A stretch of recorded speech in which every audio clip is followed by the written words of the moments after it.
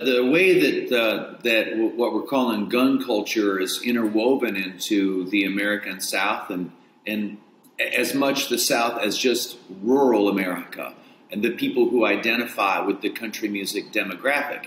There's a considerable overlap with that group. Um, uh, uh, from I love country, I live in a rural place. I, I believe strongly in the Second Amendments, and my definition of it is um, you know, is immovable. So that sort of unique stubbornness uh, represents a, um, a body politic um, in the music because that's who buys a lot of these records and comes out to see those shows.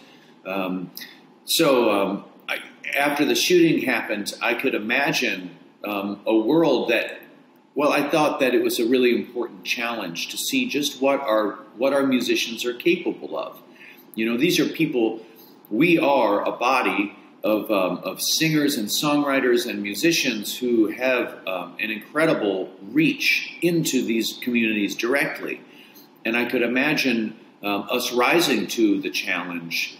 Um, similarly to the ways in which people in the American South, who it never dawned on them in the era of, of, um, of segregation and desegregation, that there was something spiritually, morally, culturally wrong about dividing people because of the color of their skin.